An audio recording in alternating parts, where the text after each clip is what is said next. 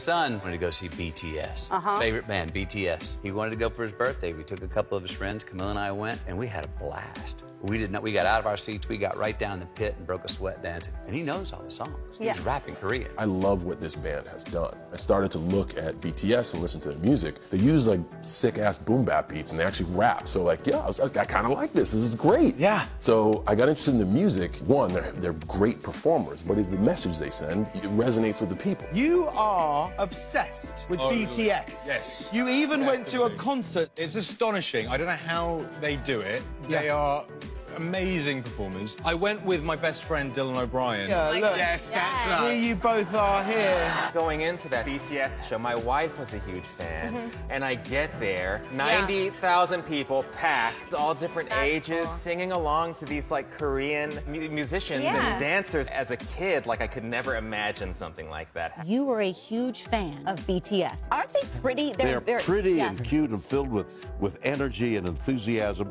And then they have this energetic thing.